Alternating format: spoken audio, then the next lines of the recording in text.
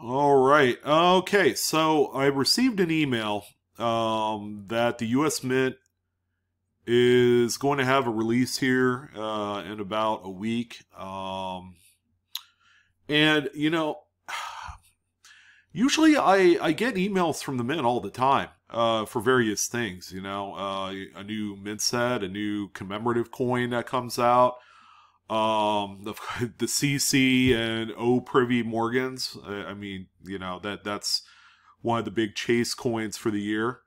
Uh the new silver eagles they're really really pr- heavily promoting that. And um actually it's it's really quite exciting. I, i'm not really a big like silver eagle person but um this year it's uh the game has changed a little bit because um there's there's a new reverse design. They actually refer to it as the reverse of 2021, and then the outgoing design is the reverse of 1986. I feel like that's pretty appropriate for uh, for kind of like this um, transitional bridge that we have going on for the Silver Eagle. So, um, but the coin in question is one in which I firmly believe that they have to cancel.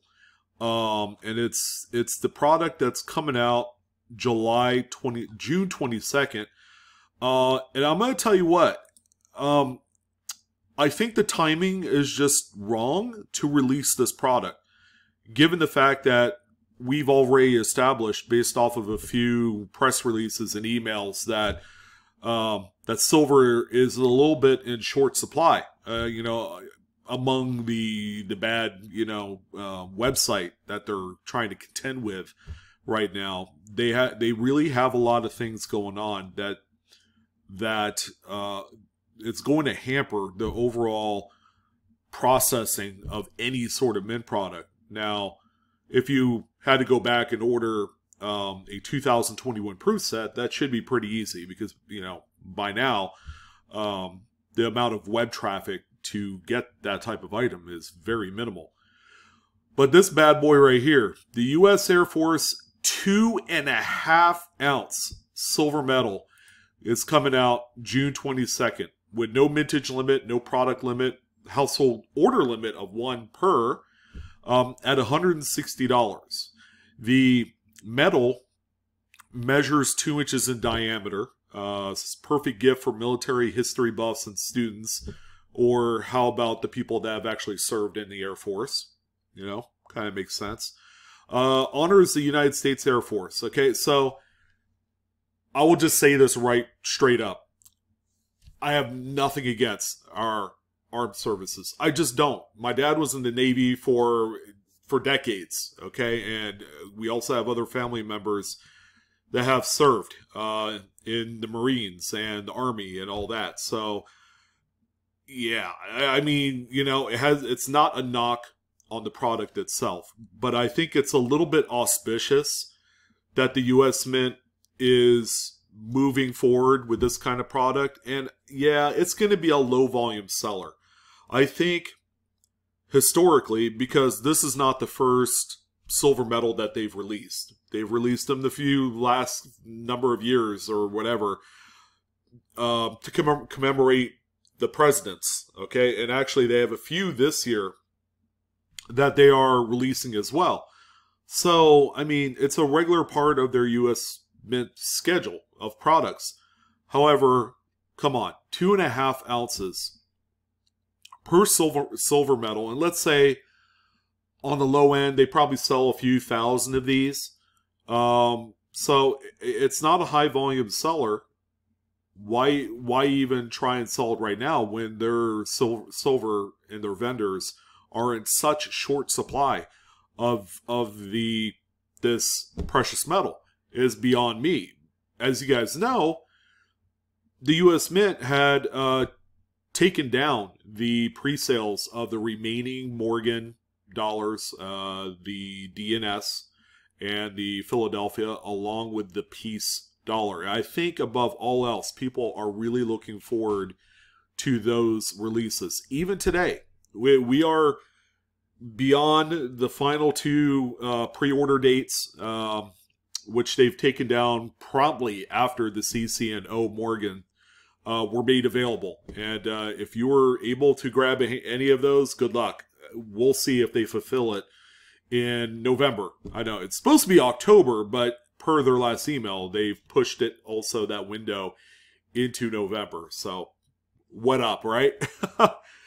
um, but I think, and, and I'm not going to only isolate it to the U.S. Air Force two and a half ounce silver medal, but also all the other silver medals for the year, uh, because I'm pretty sure, you know, if they don't, if the U.S. Mint does not refine their own stuff, I'm pretty sure that they don't. They they have some sort of like production or outsourcing that they use to um, uh, to acquire uh, their their silver blanks, their trip nine finds for their proof sets, and you know for silver eagles, and apparently the silver eagle program um, has been going off without a hitch.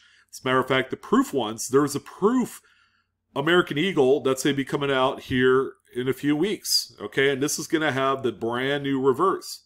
So obviously they're set to go on this coin but I think in the spirit of trying to do what's right to um, to get the other Morgans and the one Peace dollar back on the map for availability, they they need to stop producing all other silver type of coins or metals.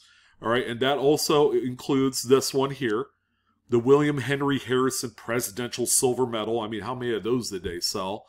Um, I think these are one ounce silver medals. Uh, there's another one that was released a little bit earlier in the year. Uh, the Martin Van Buren on February 1st. I think that one is also one ounce. But they also have a few other silver medal releases um, that are coming up. The John Tyler Presidential Silver Medal is an August 2nd release. The U.S. Coast Guard that's also a two and a half ounce silver medal. Again, no knock against the Coast Guard, the, Air Force, or the Marines, or whoever else. Um, you know, they are one of the most, they are the important, you know, I, I think above all else, they are the most important. Um, but, you know, as far as tracking actual sales of things of this nature, they're oh so small. So I figure, why not just take the two and a half and one ounce triple nine fine blanks and send them back to the refiner and get some blanks suitable for the Morgan and Peace dollar. I, I think that's that's what they need to do. Now I, I may be talking about this as being very selfish because you know I really do want those Morgan and Peace dollars to um, to come to actual reality rather than sitting here like, huh, what if? What if they do this? What if they do that? What if they cancel the CC and O privy program because they just cannot fulfill, you know, that? I mean, people have been talking about that. Yet there there's 1400 sales of pre-orders of the pre-order of those two coins respectively on eBay up to this point. So that's going to be just a cluster, you know what. Um, but I think during this period of time where they need to right size not only the website issues, which obviously cost money, it costs like manpower, resources to get that fixed, but also having the silver available for the most important programs for this year. Um, like that Silver Eagle that's coming out July 1st is going to sell out like that. But could they have made the mintage a little bit higher? They could have, uh, because I think the the product limit is like three hundred thousand. So you look at the bottom of this list of products, they have the last three Morgans in the Peace uh, in TBD status, which is to be determined and we need to get that off of TBD status and get it back to where people can order it. Um, and then here's the U.S. Air Force one ounce silver medal, which is also in TBD status. I believe this was supposed to be released in conjunction with the large two and a half ouncer. So yeah, this is all kind of mind-boggling stuff as to why it's very questionable. Like, why are they selling some of the things that um, that aren't really that good as sellers, but yet they they manage to have the supply to produce these metals and coins. I I don't know. It's uh it's very crazy. And if the US Mint ex- expects to have more business come into their website to order more stuff, they need to do something to put back all of the popular products that we're expecting back on there. All right. And it's as simple as that. I know it sounds simple, but, uh, you know, obviously there's going to be some things that's going to prevent them from actually moving moving forward with such a plan. And I'm hoping that, you know, at the very least, that that they'll consider it. Now, the CC&N Morgans that we know, uh, I'm actually bringing up eBay here. It's just a little bit slow.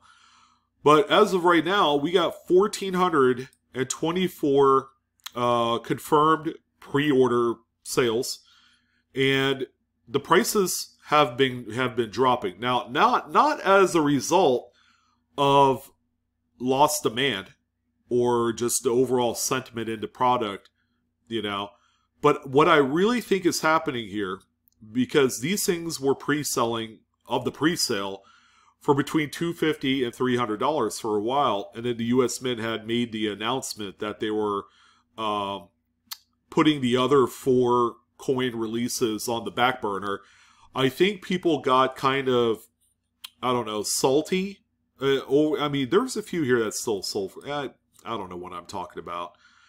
Yeah I, I was thinking that these pre-order sales were actually going to go up because the U.S. Mint had made an announcement that the other four coins were going to be put aside for now till they could sort out number one their website server issues and number two the the short supply of silver all right so they seem to go hand in hand and they brought both of those up when they were alluding to the morgan and peace dollar series um, but as you can see, the prices are still really, really robust and very strong. And I'll, I want to kind of play like a little bit of devil's advocate. So let's play the what if game here. What if we only see the CC and O privy coins and that they elected based off of some of the other intangibles um, with the silver and all that stuff that they have no ability to mint the other four coins.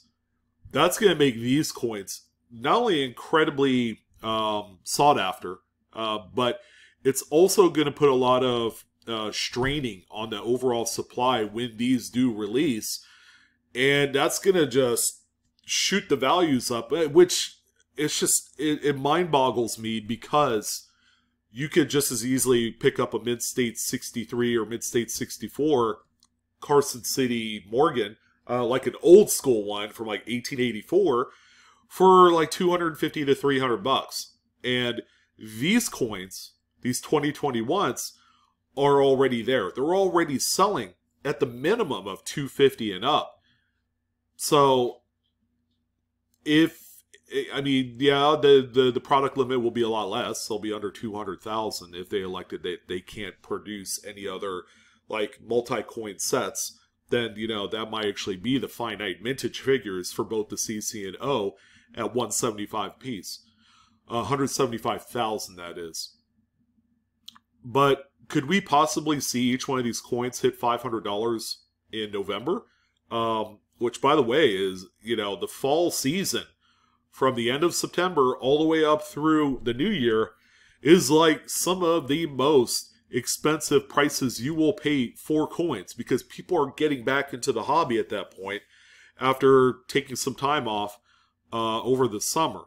So yeah, this is this is quite crazy. We could possibly see some really expensive coins, whether they deserve it or not.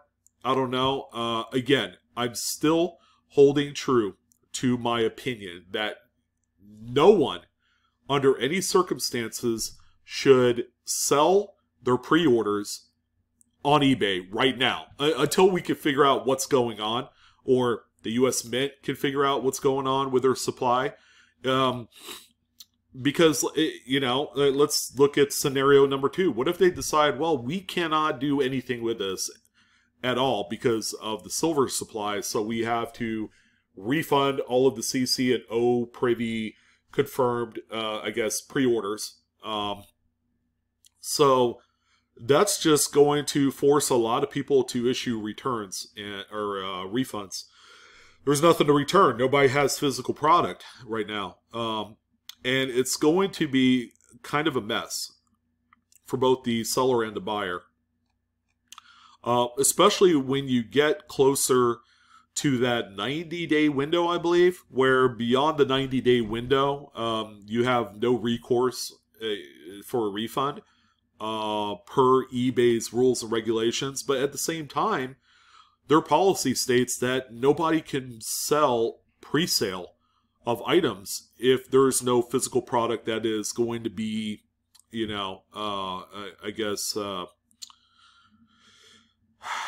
I don't know. Uh, that that's going to be uh, with the expected um, street date for these, uh, because right now it's October to November, and there you go.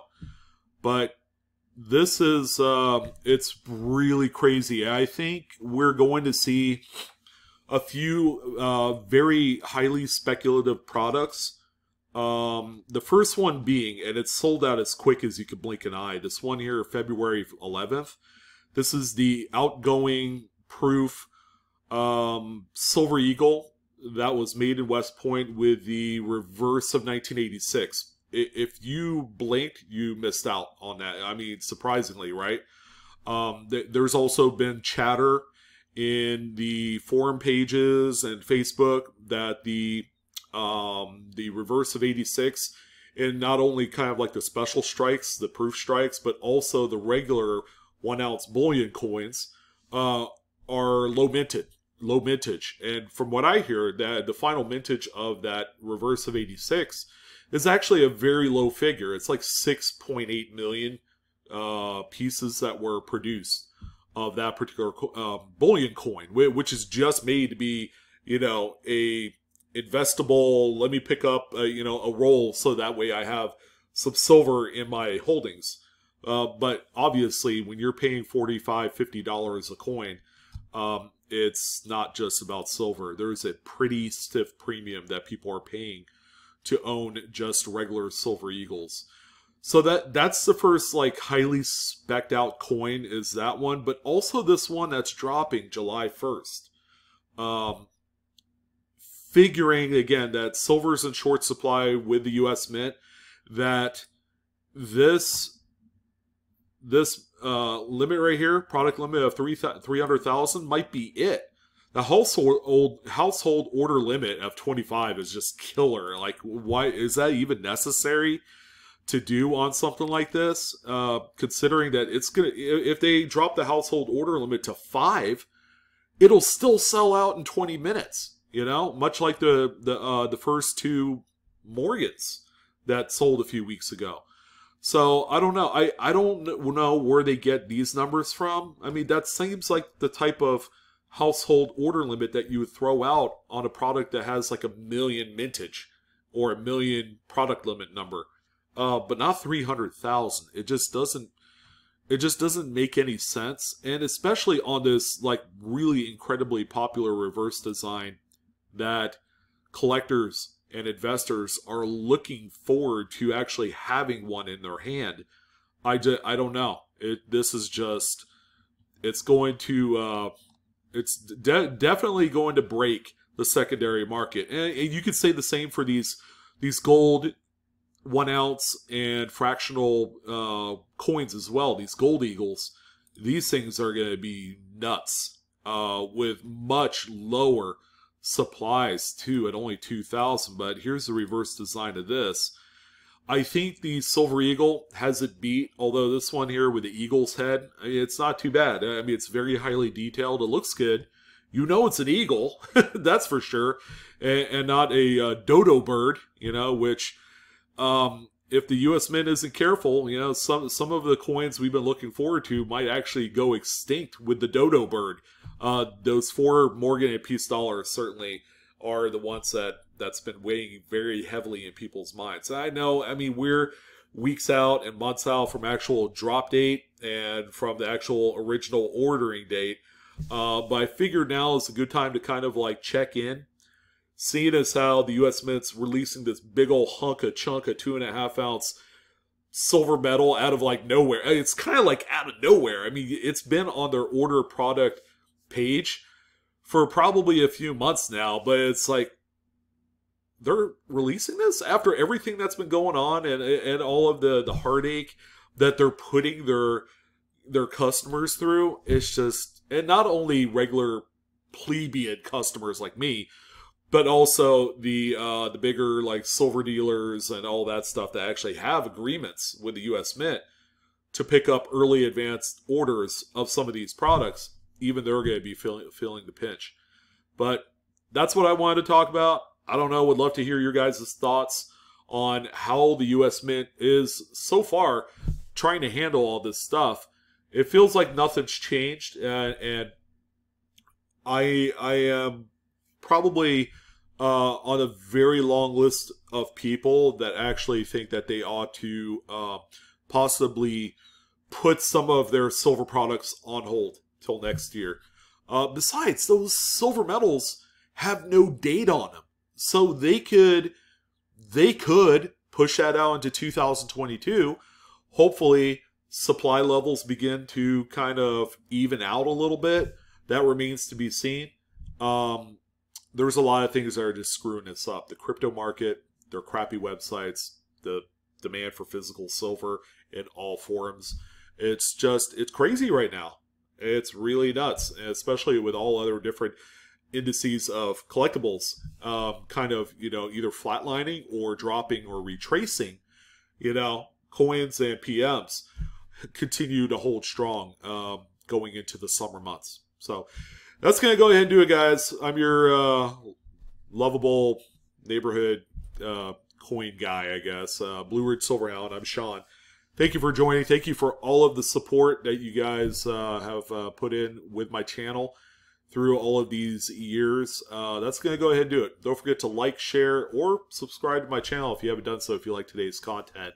Um, and don't forget to hit that bell for the instant notifications of new videos that are going to be coming up here momentarily. All right, that's going to go ahead and do it. You guys take care, Coinaholics. It was a pleasure. You guys have a good evening. So long.